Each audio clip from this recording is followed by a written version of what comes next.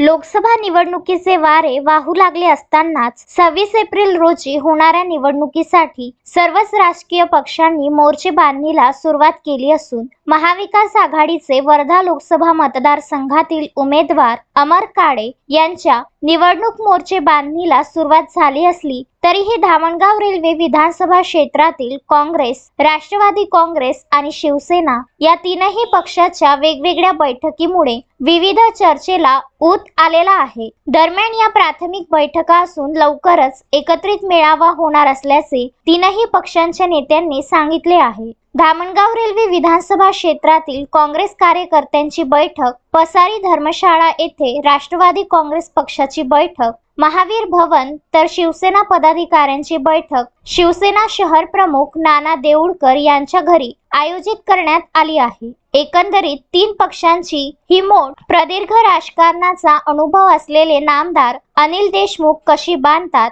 आणि या माध्यमातून विजयश्री कशी खेचून आणतात हे पाहणे औत्सुक्याचे असले तरी महाविकास आघाडीच्या उमेदवारासाठी तीन स्वतंत्र बैठका हा परिसरातील संपूर्ण परिसरात चर्चेचा विषय झाला असून काँग्रेस पक्षाची रोज सुरू असलेली पदाधिकाऱ्यांची गळती राष्ट्रवादी पक्षातील कार्यकर्त्यांचे एकत्रित नियोजन या सर्वांवर कशा पद्धतीने मात केले जाते यावरच पुढील राजकीय गणित अवलंबून असल्याचे राजकीय विश्लेषकांकडून सांगण्यात येत आहे.